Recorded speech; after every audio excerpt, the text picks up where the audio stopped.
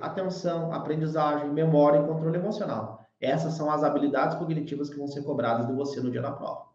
Beleza.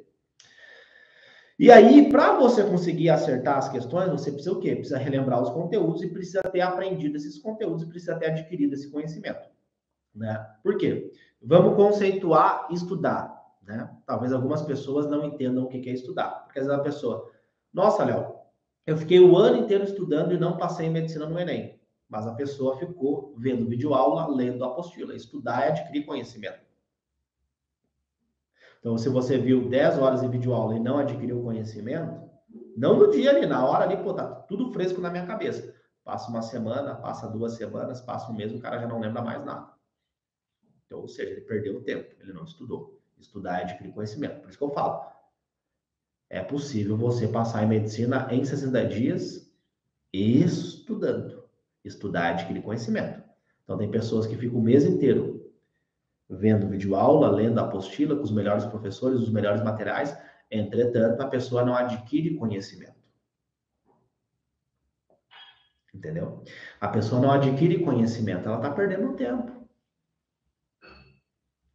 Infelizmente. Então vamos lá. E aí o outro ponto que nós temos que refletir, beleza, eu tenho que adquirir esse conhecimento para me fazer a prova. Né? Então eu vou precisar de atenção, aprendizagem, memória e controle emocional. E aí eu preciso adquirir conhecimento. Então, estudar, o que, que é estudar?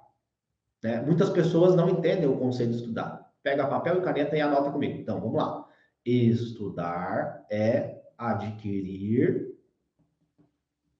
conhecimento. Então, se eu vejo vídeo aula, se eu leio o livro, se eu leio a apostila e eu não adquiro conhecimento, eu estou o quê? Perdendo tempo. Então, o Jordano aqui que quer sair da, do dentista e quer é, passar em medicina, né? Quer fazer a transição. Acontece muito isso, aparece muitas pessoas aqui no meu perfil, né? Da fisioterapia, é, da enfermagem, das áreas da saúde, né? Que às vezes a pessoa tinha o sonho de ser médico, o sonho de ser médica, mas às vezes por crenças limitantes, por pensamentos negativos, acabou fazendo outro curso, tá?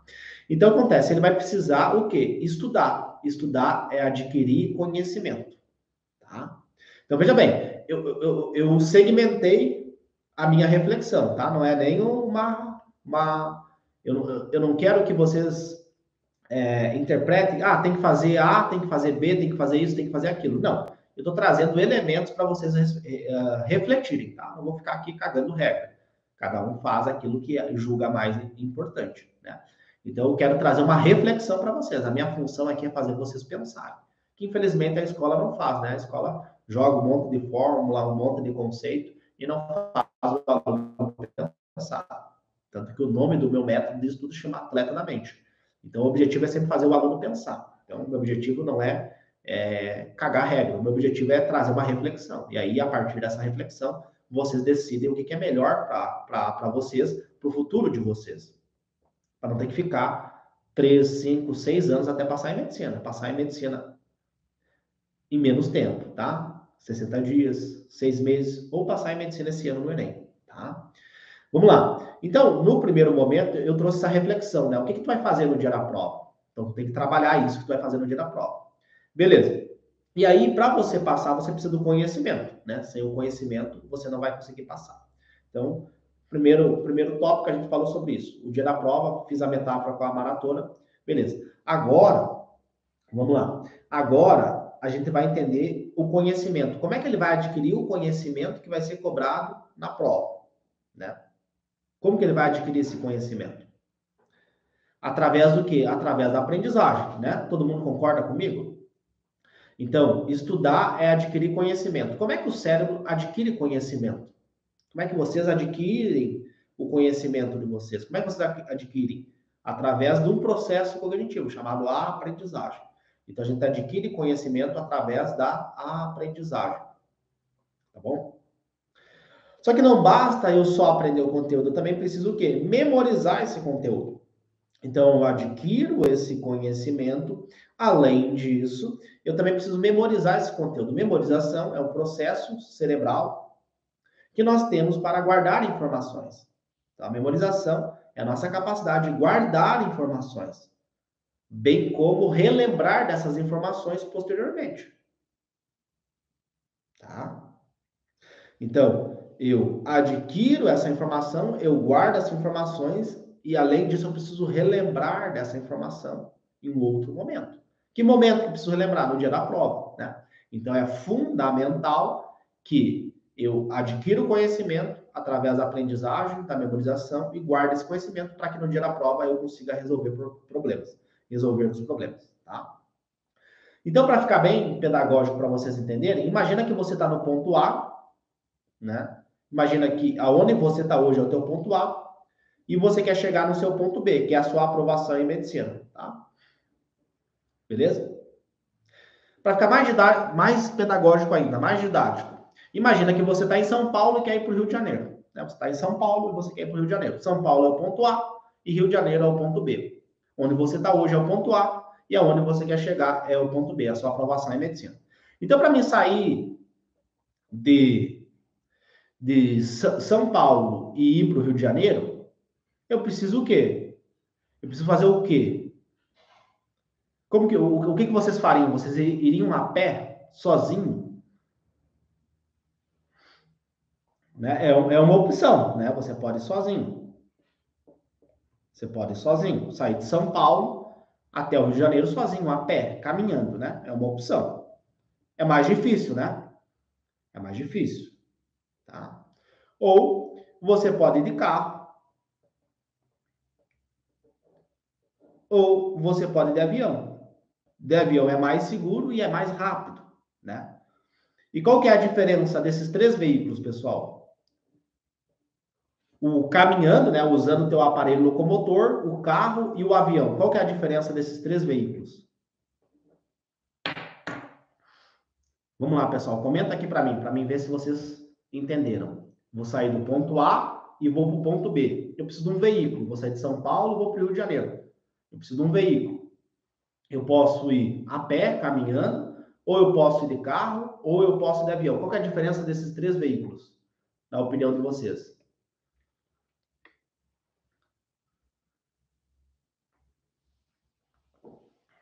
o tempo, né? A diferença é o tempo deles. Mas por que que muda o tempo? Quem falou? Ó, Camila, o tempo, né? Mas por que que tem uma diferença de tempo? O que, o, o, o que, que faz ter o, o tempo deles, né? Velocidade, tempo.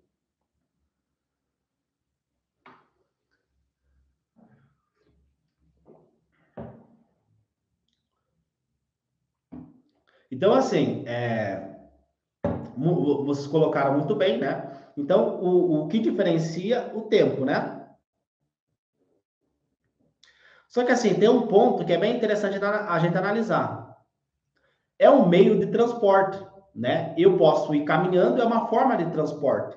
Só que é uma forma de transporte mais rudimentar, né? Ela é, ela é rudimentar. Demora mais tempo, gasta menos energia. Ela é uma uma forma rudimentar, é um veículo, um transporte rudimentar. O carro, ele é um pouquinho mais evoluído, né? Então, ele tem uma tecnologia que foi aplicada, o motor, a combustão, a gasolina, né?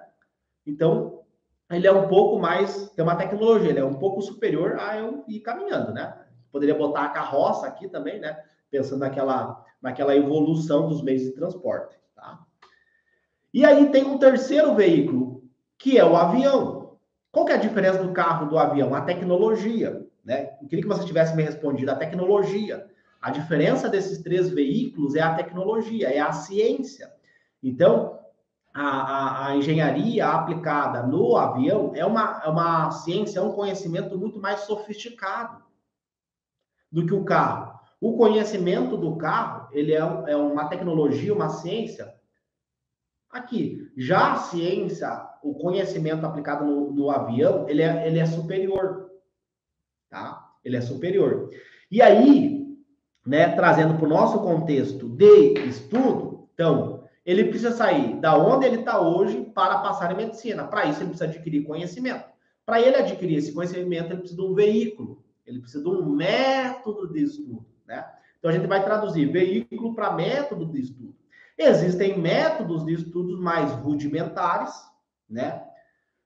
E existem métodos de estudos mais superiores, que têm uma tecnologia, que têm um conhecimento mais é, mais fidedigno, tá? E quem diz isso para nós é a neurociência. A neurociência é a ciência que estuda o funcionamento do cérebro. Então, antes de você, ah, eu preciso estudar física, eu preciso estudar matemática, eu preciso estudar redação, você tem que escolher o veículo. O veículo que vai te levar do ponto A ao ponto B.